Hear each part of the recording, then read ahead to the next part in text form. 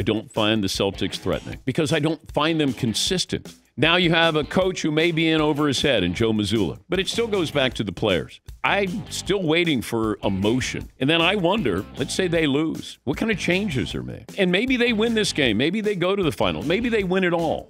But there's still that element of doubt with Boston.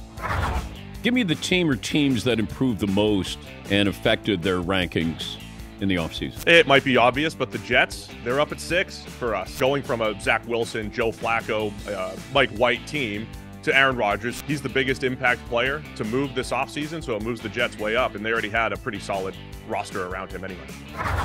I mean, Joe Mazzulla, is he going to stay as the head coach? I would say yes, because they put him in as the interim coach. And they were so wildly impressed with the job that he was doing that at a certain juncture during the season, they took a pen and scratched out interim and said, You are our coach. Yeah. For them to remove him from that perch, now it's management saying, Oh, we, we, we screwed up. We, we shouldn't have done that so soon.